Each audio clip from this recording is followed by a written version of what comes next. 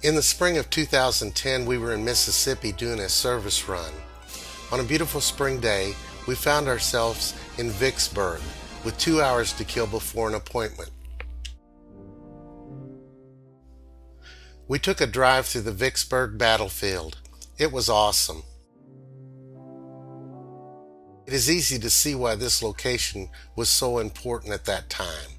From these heights, everything coming up and down the Mississippi could be harassed by cannon fire.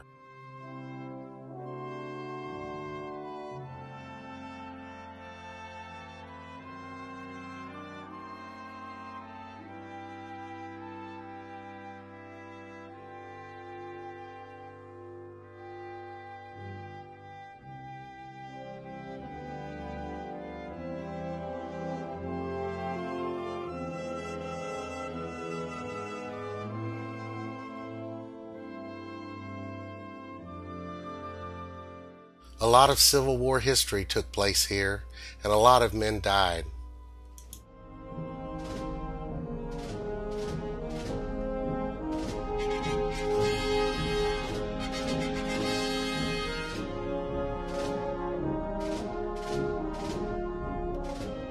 That is me and my trusty bodyguard, Spike.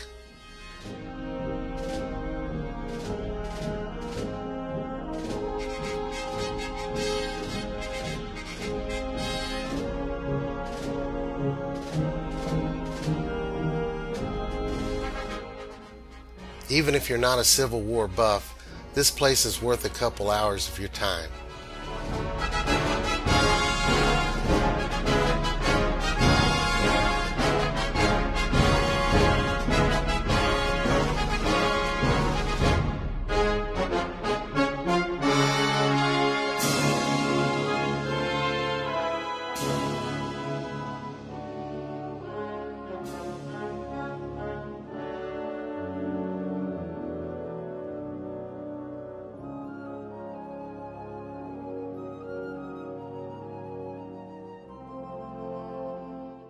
I hope you enjoyed.